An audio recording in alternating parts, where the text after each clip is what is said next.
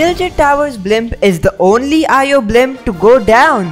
And once that blimp goes down, Tilted Towers will be damaged even more.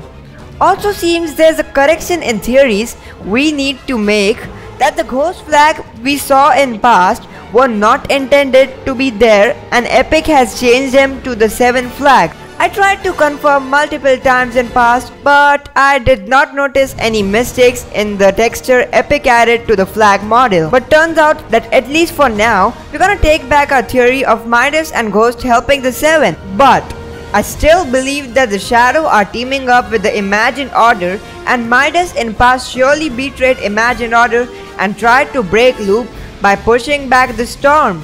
Till now we have only theorized that the IO took the Doomsday device from my Midas, but it is also possible that IO are preparing their own brand new device plan, probably with revamping the old device. If you guys see in this loading screen where the final member of the 7 which is Order is arriving and we can see her escaping from the IO.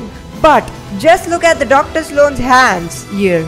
There's something strange hologram of a tower-like object, so maybe that's IO's new Doomsday machine. Like a plan B? Well, right now we do not know what the Doomsday machine IO are building is going to do, but once the Tilted Towers blimp crashes, we will be on the final stage of pushing IO boundaries. And remember, the paradigm has warned us about something extremely dangerous at Loot Lake. So I believe paradigm could return to the island by the week 10 along with the robot and we may have to find parts of the robot like hand in the sea. Remember, the scientist still says paradigm is our only hope. So that's why I mentioned why paradigm could return by week 10 which is around 24th of the May. So now when does the final live event update of this season arrives and is the Doctor Strange possibly gonna help us in the event? So the final update which will bring live event files to the game arrives on May 17th. This is going to be a very huge update.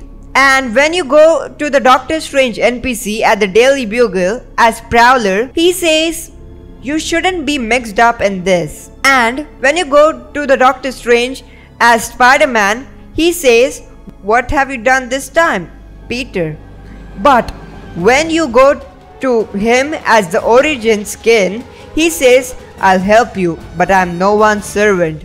So this might mean that the Doctor Strange may help us and the Seven in the finale war event. This is just a short possibility, but we are getting closer to a lot bigger things finally. Rest of the stuff I will see you guys in the next one.